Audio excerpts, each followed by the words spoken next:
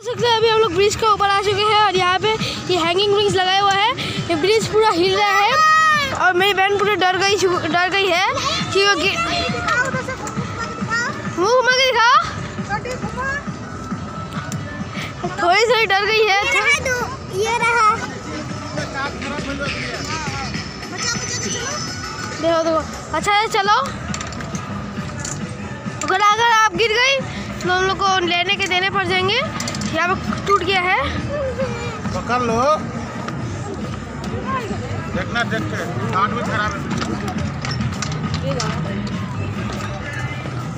अभी हम लोग को यहाँ से निकलना पड़ेगा। निकलते हैं। और आगे और नेक्स्ट स्पॉट पे चलते हैं।